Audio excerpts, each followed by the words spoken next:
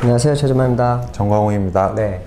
오늘의 주제는 평지북 내단. 평지북 네. 내단열. 이게 좀 걱정되는 게 평지북 내단열이 제목은 되게 간단한데 네. 너무 복잡한 상황이 엮여져 있잖아요. 특히나 네, 이제 그렇죠. 평지북이니까 방수하고 엮여야 되는데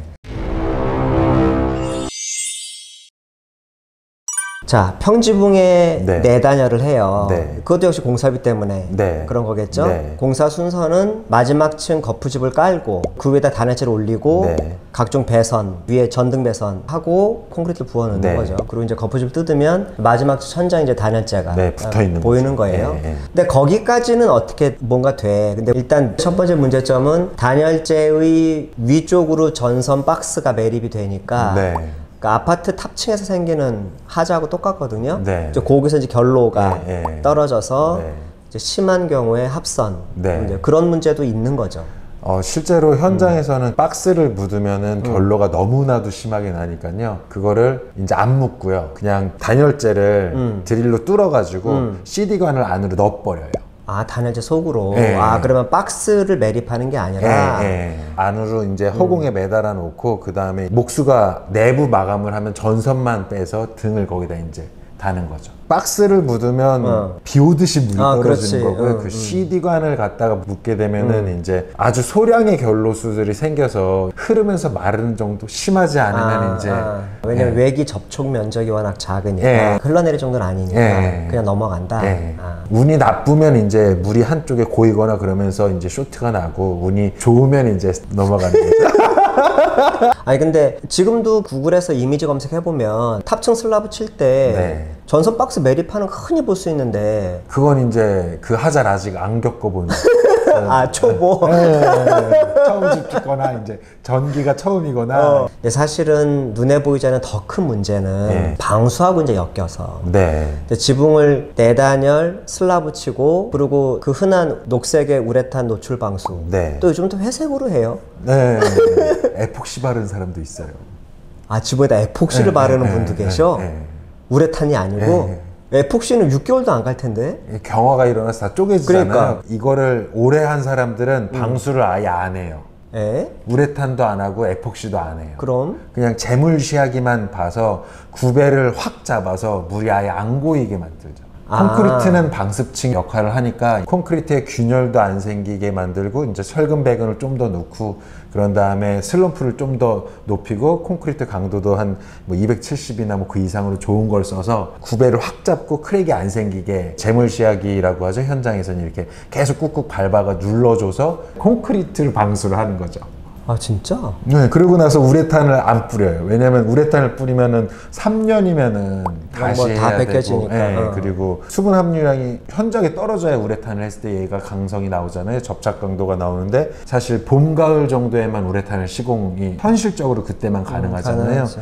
그럼 그때까지 이걸 기다릴 수는 없으니 방수는 콘크리트로 그냥 그 방수 안 하는 거죠. 그리고 나서 거기다 이제 원하면 에폭시를 바르든 우레탄을 바르든 이제 발라줘. 칠을 하는 거죠.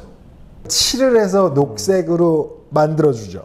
내가 지금 받는 느낌이 뭐냐면 구배로 승부하시는 분은 네. 뭔가 뭔가 좀 아는 양반 같은 네, 느낌이야. 네, 왜냐면 네. 논리적으로 따지면 네. 우레탄 노출 방수는 방수가 아니거든. 네. 그냥 어차피 3년에 한 번씩 다시 해야 네, 되는 네. 이 세상에 그런 방수는 없거든. 네. 방수는 영구적인 예, 거지. 그렇죠. 예. 근데 이제 그분은 그걸 아는 거지. 네. 어차피 아니니까. 그래도 그분은 좀 더 집을 생각해 주는 사람 같은.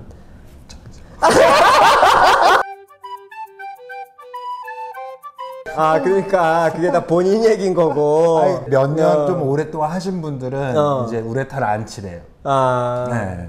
들으시는 분은 혹시 오해할 수 있는데, 네. 어 방수를 안 해?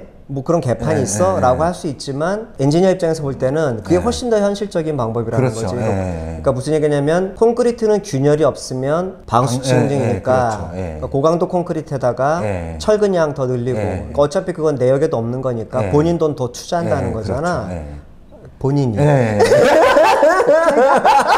대신 구배를 확실하게 주고 예, 음, 예. 그러니까 표면 균열도 없이 계속 양생 과정에서 예. 꾹꾹꾹 눌러줘. 예. 아, 어, 그래도 거기까지 생각을 했다는 게, 아, 그 본인이. 아니, 더 이상 놀라지 말아야지. 이론적으로 먼저 정리를, 그러니까 들으시는 궁금할 예, 수 있으니까. 콘크리트는 이제 평형함수율이라는 게 있어요. 평형함수율은 그러니까 우리가 거푸집을 뜯어내면 한 일주일, 15일 지나면 콘크리트가 다 말라 보이지만 사실은 내재된 수분이 굉장히 많고요. 그게 충분한 건조, 즉 더 이상 건조하지 않은 상태를 평형함수라고 그러는데 그 평형함수에 도달할 때까지 적어도 2년이 걸려요. 특히나 이제 날씨가 안 좋을 때, 그러니까 여름 예, 습할 예. 때나 아주 한겨울에 치면 예, 그게 동- 3년, 예. 4년까지 이제 늘어난다는 거죠. 이게 상상을 좀 하셔야 되는데 아래쪽엔 단열재가 있고 단열재가 두꺼워지면 방습의 효과가 있어요. 그 콘크리트 수분이 아래쪽으로는 증발하지 않으니까 네. 결국은 증발할 곳은 위쪽밖에 네. 없는데 위쪽에 우레탄 방수 해봐야 네. 떠버리죠. 다. 떠버리는 예, 거지 예, 밑에 이제 햇빛을 받으면 예. 수분이 팽창하니까 예. 기화하면서 우레탄 방수를 밀어내는 네. 거죠. 한 뭐 6개월, 1년은 탄성을 갖고 있어도 네. 계속 자외선을 받으니까 경화되면서 예. 방수층이 깨져버리는 네. 그런 거죠. 예. 그래서 사실은 방수 관련된 특허가 엄청나게 많은데 예. 그게 대부분이 그 내부에 있는 수분을 배출하는 그래서 네. 뭐 탈기반이니 뭐니 예. 희한한 것도 예. 나왔는데 결국은 다 그냥 궁여지책일 예. 뿐인 거죠. 근데 어쨌든 그걸 깨닫고 위에 이제 유기질 층이 없으니 예. 수분 배출이 가능한 균열이 가지 않는 구체 구볼의 승부를 예. 봤다라는 거죠. 그러니까 오히려 그게 더 하자가 훨씬 적고 훨씬 적죠. 적죠. 예, 예. 음. 그러니까 이걸 들으시는 분이 여기까지 들으면 안 된다는 거예요. 왜냐면 이걸 따라하면 안 되거든.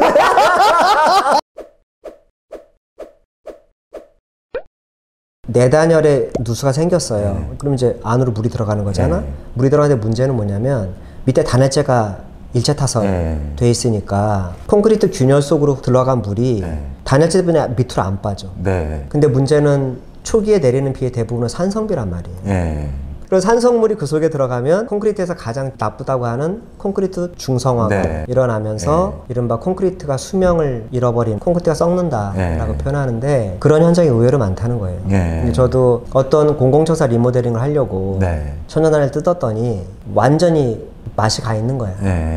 지붕 슬라브가. 근데 가치관 구조기술사가 하는 얘기가 직설적으로 표현하면 언제 무너져도 이상하지 않은 상태. 예. 그러니까 콘크리트는 이미 다 구조적 수명을 네, 다 네. 했고 철근 몇 가닥으로 네. 슬라브가 버티고 있는 상태인데 그 단열재 속에서 일어나는 거라 예. 누수가 생길 때 천장 보수할 때 뜯지만 예. 그뭐 단열재 멀쩡해 보이니까 그렇죠. 모르는 예. 거지. 근데 이제 아는 방법이 뭐냐면 단열재랑 단열재 사이에 예. 노랗게 물이 흘러나온 흔적을 그걸 이제 무시하는 거지. 왜냐면 그거는 마르겠지 예, 하는 그렇죠. 거니까. 예. 그러니까 젖은 천장 보수만 하고 예. 또 누수되면 바깥에 어, 우랬던 또 칠하고 또 칠하고. 또 칠하고. 근데 예. 그 속에 물은 점점 고이고 하니까 맛이 가는 상황이 네. 벌어지는 거예요. 그러니까 결로 누수는 우리 피부로 닿는 문제지만 예. 구조적 결함. 어, 그 건물이 15년밖에 안 된 건물이었거든. 아. 그러니까 15년 만에 이미 콘크리트 수명을 거의 네. 다한 상태니까 평지붕 내단열은 악 중에 최악으로 쳐도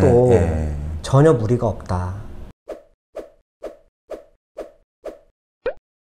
내단열을 하니까 네. 구조체가 바깥에 있고 네. 눈에 보이니까 그냥 그 위에다 방수 하게 네. 된 거죠 그냥 네. 근데 일단 석유화학 제품은 자외선에 노출될 수 없는 거죠 네. 음, 기본적으로 네. 그러니까 노출 방수는 안 되는 거야 네, 네. 근데 문제는 그러고 나서 또 누름 콘크리트라는 걸 친단 말이야 네. 근데 그거는 밑에 방수를 제대로 안 하고 네. 그냥 눌러만 놓니 네. 언젠간 그 방수는 깨질 거고 네. 왜냐면 누름 콘크리트도 햇빛을 직접 받으니까 수축 팽창을 네. 하는데 네. 파라펫하고 만나는 면에 완충제를 쭉 10mm 이상 네. 넣어야 되는데 그걸 안 넣고 그냥 쳐버리니까 네. 얘가 파라펫을 밀어버려요. 예. 그러면서 이제 얘가 꼬가다 꺾어지는 거지. 네. 그러면서 이제 모서리에서 방수가 다 깨져나가는 네. 그런 일이 벌어지는 거잖아요. 그러면 이제 거꾸로 그런 얘기도 할 수 있어. 그러면은 누름을 치고 네. 완충제를 하면 그건 좀 낫냐? 훨씬 낫긴 하지. 네. 낫긴 하지만 결국 잔존 수분은 영원히 어디로 빠져나가지 않으면서 결국은 그 수증기압이 안 생길 수가 없고 왜냐면 네. 단열재가 아래에 있으니까. 네. 근데 더 큰 문제가 누른 콘크리트가 100mm, 150mm가 바닥에 깔려 있을 때는 그 양이 얼마 안 돼 보이지만 예. 방수를 고치려고 그걸 깨는 순간 어우, 한 25톤 아. 감당할 수 없는 네, 일이. 벌어지니까 네. 문제는 누름 콘크리트에서 방수하자 생기면 누름 상부에다가 또 방수를 한다. 우레탄을 또 칠하죠. 또 칠하지. 네. 그럼 그 밑에 물이 엄청나게 들어있는데 네. 그 위에다 칠해버리니 네. 이제 다시 더 또 부풀어 오르면 거기 또 긁어내고 다시 또 또, 하고. 칠하고 또 칠하고 맨 마지막에 한 층을 더 만들어서 지, 지붕을 씌우죠. 그렇지, 그렇지, 아, 방법이 없어요. 그렇지. 네. 그러니까 내단열에서 벗어나지 않는 이상 왜냐면 네.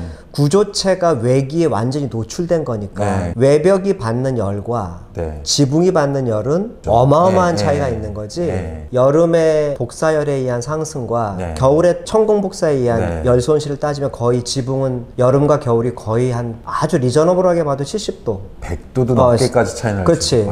그 100도까지도 차이 나니까. 외벽이 늘고 주는 거하고는 사실은 비교가 네, 안 되는 그렇죠. 거지. 네. 그러니까 당연히 단열재가 실내 측에 치면서 위에 골조가 거의 여름과 겨울이 100도 이상 차이 나는 그 문제를 네. 아무리 완충제를 넣고 균열 유도줄은 뭐그 백날 그거 해봐야 결국은 그게 영구적 방수가 아니라는 거지. 예. 음. 근데 참 너무 멀리 왔다는 생각도 들어. 그러니까 멀리 왔다는 건 유럽 애들한테 3년에 한 번씩 방수 보수해. 그럼 걔네들은 도저히 이해를 못 하거든.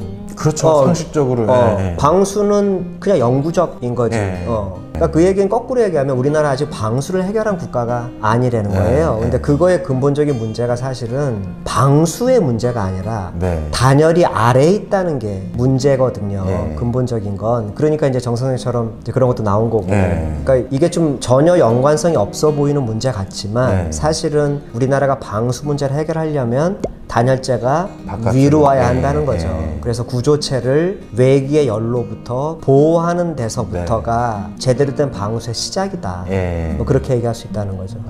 구조적 문제, 누수, 결로, 곰팡이까지 이어지는. 예. 그러니까 일제 타설이 아무리 싸고 편하고 해도 네. 그게 위로 올라가지 않으면 영원히 이 문제가 해결되지 네, 않는 네. 거고. 그렇죠. 어, 그럼 네. 외단열은 어떻게 하냐? 그건 협회 홈페이지에 네. 아주 자세하게 나와 있으니까.